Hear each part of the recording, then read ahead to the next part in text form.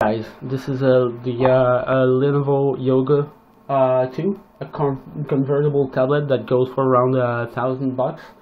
Uh, since it's not really targeting the uh, performance uh, market, this review will be mostly about uh, the good and the bad of it.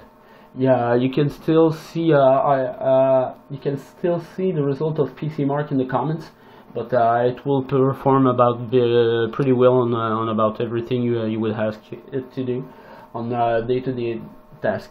Uh, first thing th that strikes you about the uh, this, laptop, well, this convertible laptop, is the uh, build quality.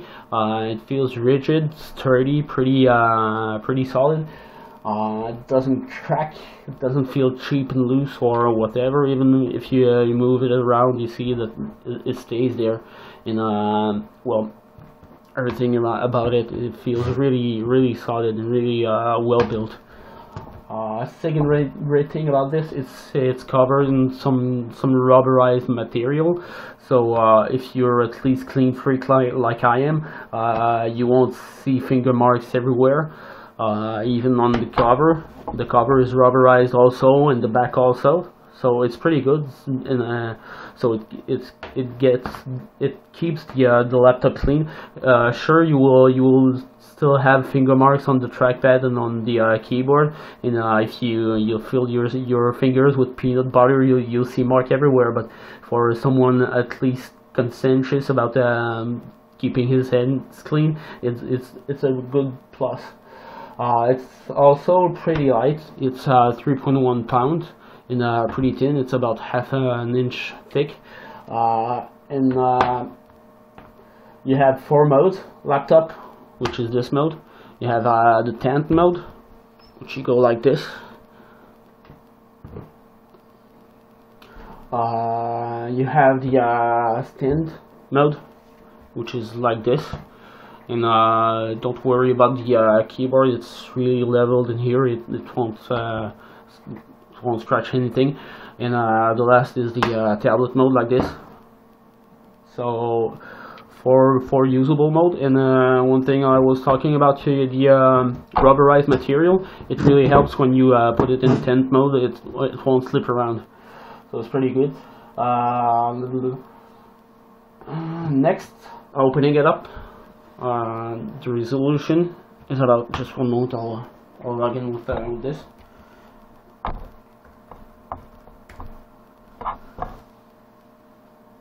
let me plug it in so you can see uh, the screen better. Resolution is about um, is uh 3200 per 1800 it's a great quality.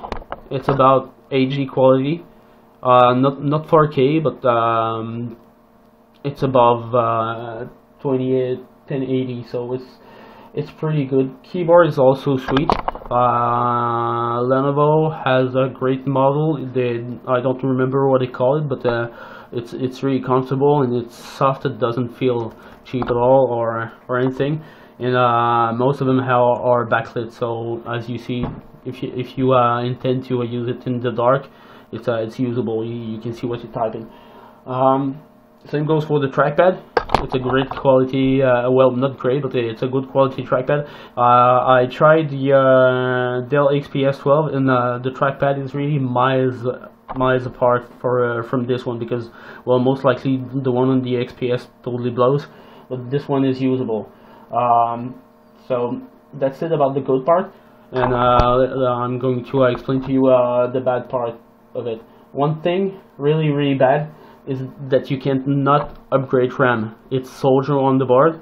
So if you are you're looking to buy one of those, you have a couple of models. If you know you want to keep it for uh, for long, and uh, well, and you think you will need more RAM in the future, uh, I would advise to get the uh, 8 gigabyte model because if you uh, get the 4 gigabyte in, with the intention of uh, upgrading it uh, further along the road, you won't be able to. Uh, second thing that's bad, but not so bad, is the Wi-Fi card. Uh, it comes with uh, the Intel 7260, it, and it's okay at most. But the good thing about the bad thing is that you can upgrade it. But the bad thing about the good thing about the bad thing is that in order to upgrade it, it has to be uh, flagged in the whitelist.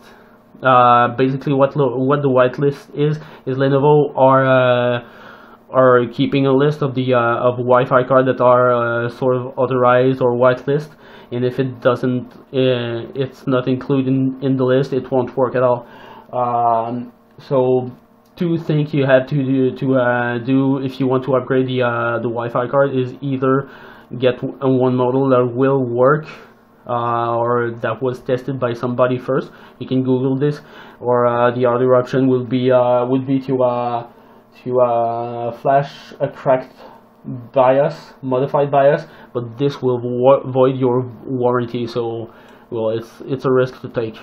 Uh, so there you have it. Uh, it's a pretty decent device, but with some flaws. So that's it for now. So see you around.